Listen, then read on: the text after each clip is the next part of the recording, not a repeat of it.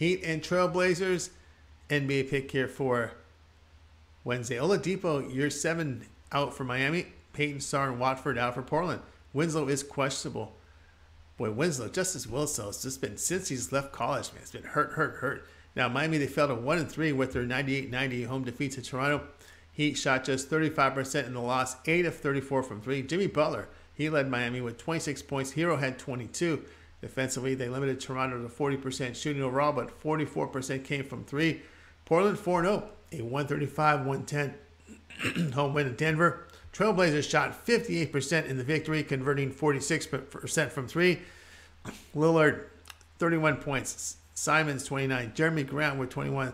They did allow 49% shooting to the Nuggets, along with 39% from 3. Heat are really struggling shooting the basketball and convert only 22% from 3. Trailblazers shooting well at 47% and 39% from beyond the arc. Miami 28th in offensive efficiency. Their average just 105 points per 100 possessions, a minus 5.1 net rating. Portland averaging 115 points per 100 possessions. The play here, Portland minus 1.